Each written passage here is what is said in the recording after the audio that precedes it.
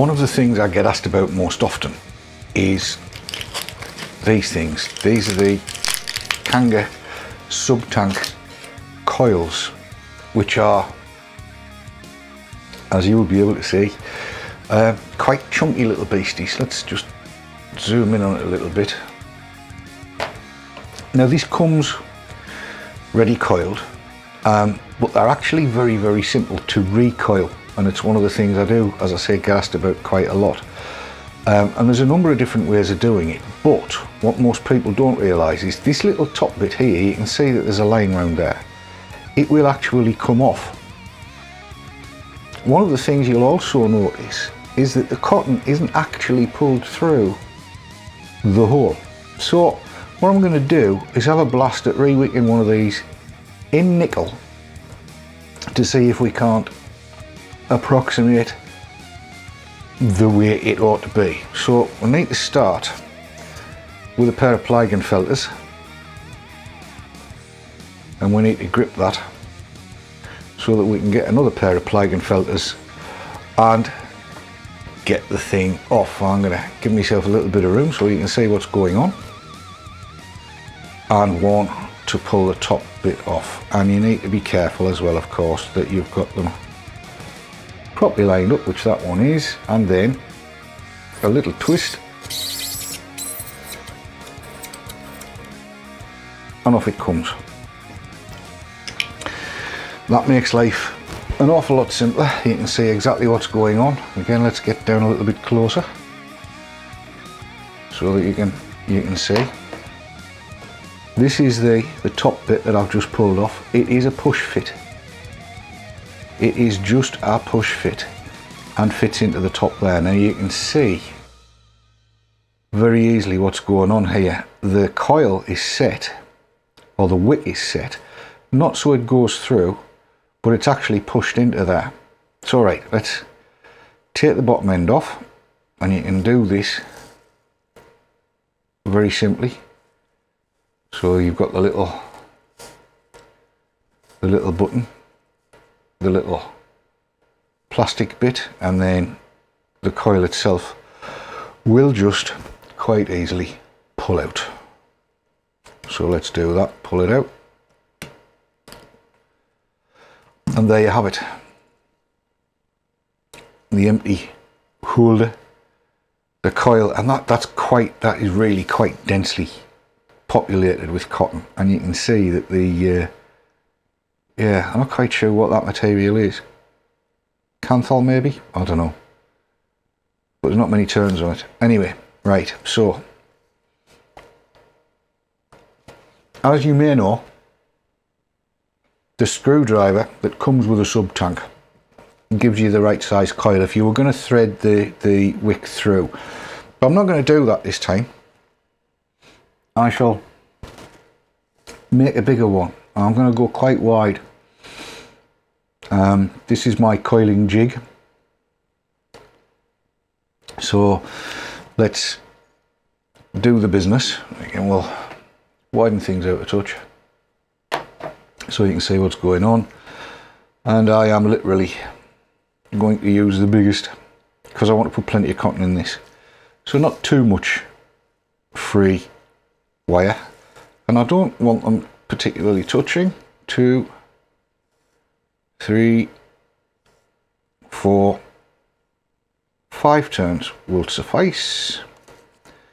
As I say I don't want them touching.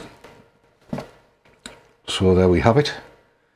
Let's zoom in a little bit and then you can see exactly what's going on there. So it's just five turns neatened off. I don't want them touching. This is a nickel coil. And so now all I'm going to do is just cut one leg slightly shorter than the other. Make sure I've got them nicely set so pretty much parallel and relatively straight and then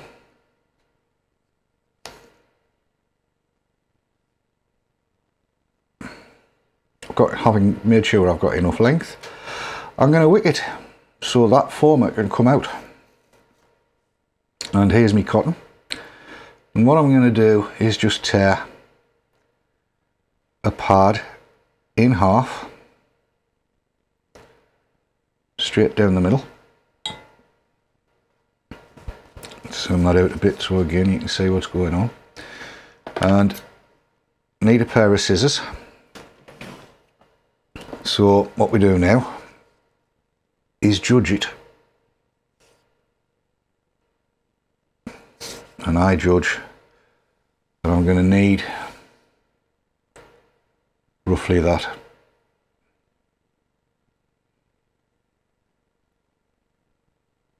But I don't need it all that wide so let's cut it just a little bit wider to start with and it's maybe twice the width. But I'm going to lose a bit when I've put it through. Because I don't want this as tight as what the original one is. I want it fairly slack. So there we go. And offering that up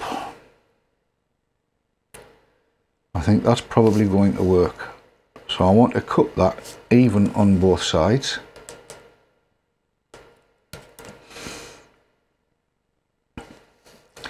And give it a good fluffing.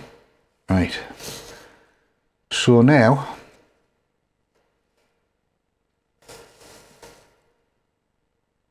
we simply push these in. And push the coil down and then back up and this is where you need to get a little bit creative the coil itself needs to be reasonably high up, around about level in fact, um, with the, the holes. So if I now put this leg back in, like so, to trap that one leg and check where everything's at. This is the, the, the it's going to be the difficult part. That's it, it's back on a level. And you do that just by pushing the wires up and down. You can see inside if I, if I get this into a bit better.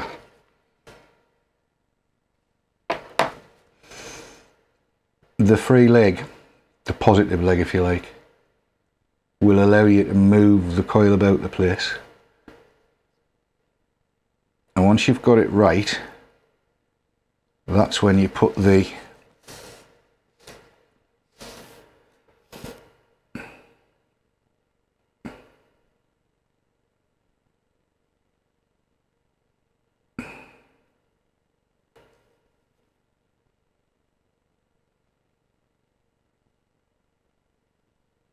Alright. Get in. That's everything in place. The wick is more or less where I want it so now it's just a case of tucking this down because obviously I don't want that wick all I wanted doing is blocking the hole right just blocking the hole the rest is fine so that's it that's the way in and then the top needs to go back on and I'm to just snip these wires before I put the top back on.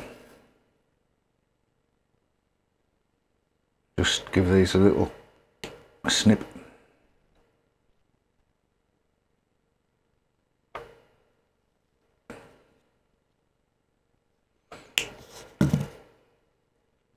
check to make sure there's no shorting going on there. And it doesn't appear to be.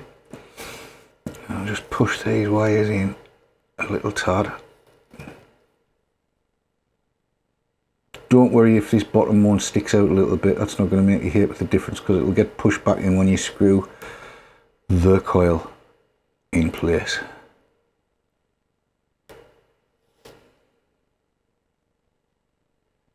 Just means that you're not going to that's it, get things upskittled. So that's good. That's all working. And now, one last check to make sure that you've got that pushed down into place so that it is going to get that juice. And this will wick extremely well. And then the top goes back on. And the best way of doing that, I have found, is to get the pliers out and just nip it down with your pliers. And you do that from base to tip like that. Side by side, or one side at a time I should say rather than side by side.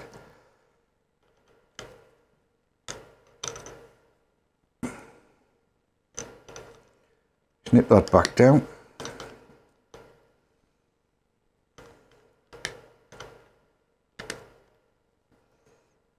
That's it. That's it done. Now, that will work quite nicely, thank you, in whichever sub tank you fancy it in, because it works in them all. And just to prove it,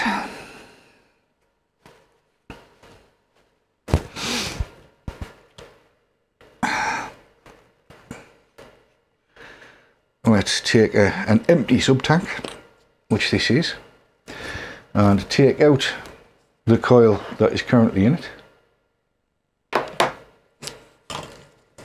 Alright, so take the coil out. And as usual, David gets wick and juice and crap everywhere. So, screw it in.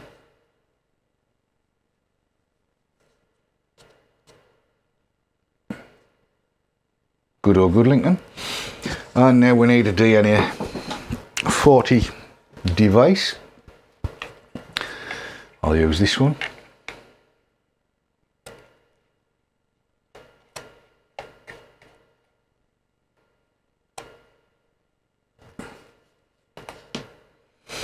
and it is working. I'm going to knock it down from 30 watt because that's too high. Okay. Quick press and it's 0.2 ohms exactly. So I knock it right down and then stick a little goblet of juice in there. So here we go, a little bit of juice. It's starting to work. That's at uh, 17. So we're ready to go. We can fill the tank up. And stick it on a device and give it six out. See how it works. Which is always a good idea. So tank filling time. Move the device out the way, there's the tank.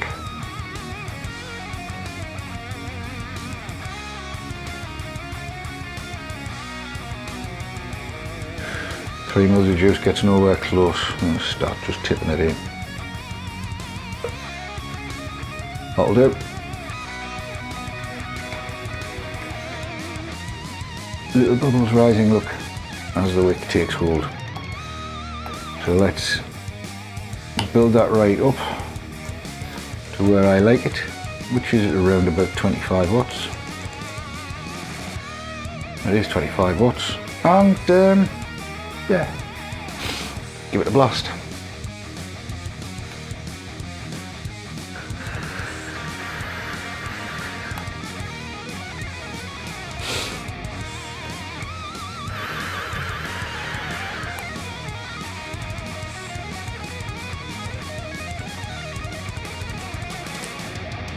That's hammering it.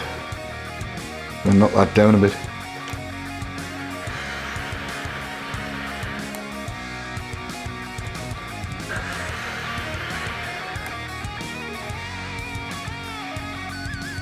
So that's how you really work a sub tank. Or a sub tank 466 coil.